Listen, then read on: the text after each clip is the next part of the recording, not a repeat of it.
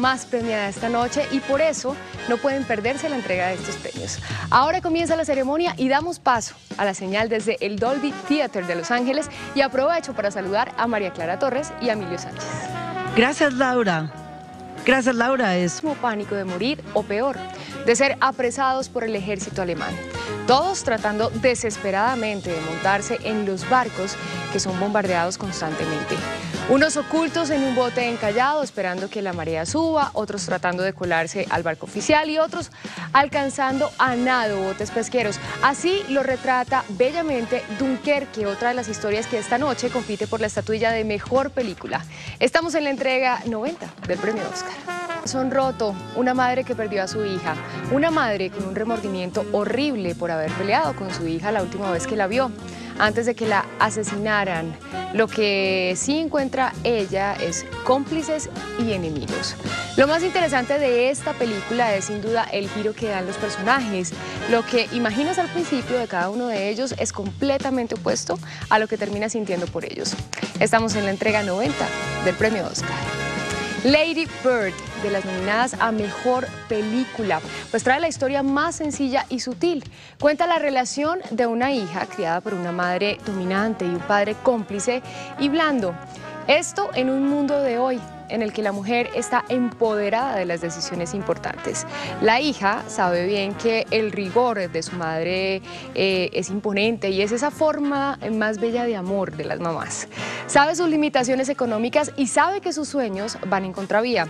La película, protagonizada por la bellísima Saoirse Ronan, nos muestra que saber algo y vivirlo no es lo mismo. Allí es donde está lo poético de esta cinta. Estamos en la entrega 90 del premio Oscar. Volvemos. Mientras que en Dunkerque los soldados huyen por sus vidas, en las horas más oscuras vemos a quién está tomando las decisiones para rescatarlos. Vemos a Churchill, cómo fue elegido, cómo fue elegido y por qué para el puesto de primer ministro inglés en un mundo sin esperanza de ganarle al terrible tirano de Hitler.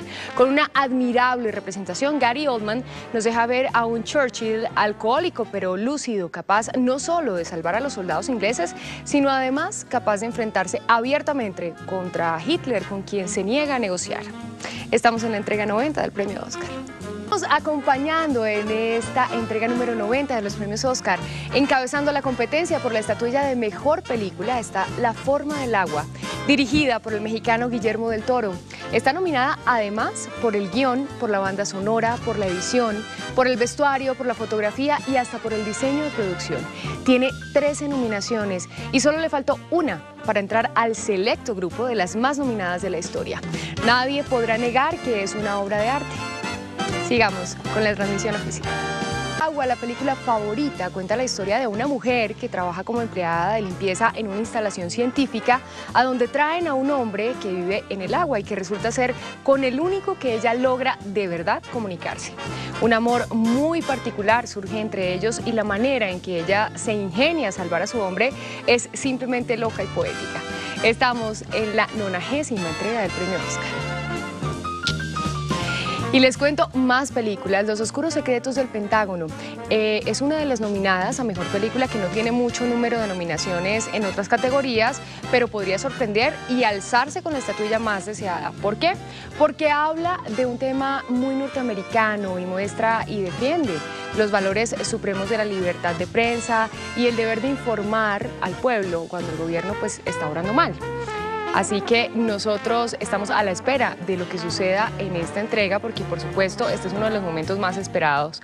A los oscuros secretos del Pentágono tiene un guion eh, muy inteligente, escrito de una manera entretenida, con los pesos pesados del cine americano. Tom Hanks, Meryl Streep y dirigida por uno de los hombres más influyentes en la academia, Steven Spielberg. No sería nada raro verlo subir por la estatuilla a Mejor Película.